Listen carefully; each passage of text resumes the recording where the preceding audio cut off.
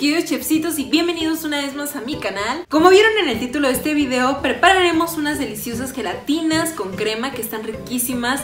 Este postre está delicioso y lo que más me gusta es que es súper súper fácil de hacer, lo puedes preparar muy rápido. Comenzaremos con los ingredientes. Utilizaremos una crema de leche de medio litro, que es esta, es la que le ponemos a los tacos, una leche condensada y prepararemos dos gelatinas de sabores. Puedes elegir el sabor que más te guste. Yo aquí tengo de fresa y de uva, que son mis sabores preferidos. No las prepararemos como viene en el instructivo, ahí nos indica que con un litro de agua, pero nosotros lo haremos con tres tazas. Esto es para que la gelatina no quede tan aguada y no se vaya a batir. Comenzaremos por cortar la gelatina en cubitos. Esto es muy muy fácil. Primero el borde de la gelatina y después en tiras, primero horizontales y después verticales o como te acomodes. Y con una palita iremos despegando los cubitos. Esto es para que no se vayan a romper. Y lo mismo haremos con la otra gelatina.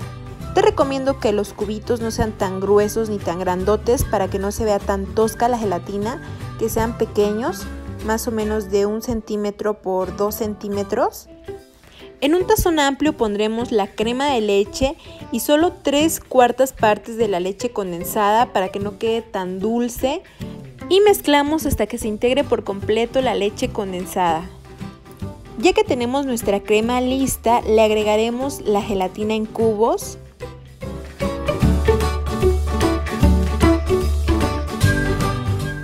y mezclamos para que toda la gelatina quede bañada de esta crema deliciosa.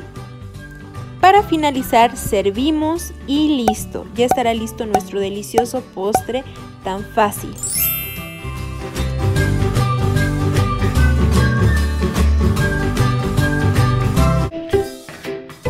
Les recomiendo bastante preparar este postre. Mm, al menos yo soy muy fan de este postre. Me encanta la gelatina con crema.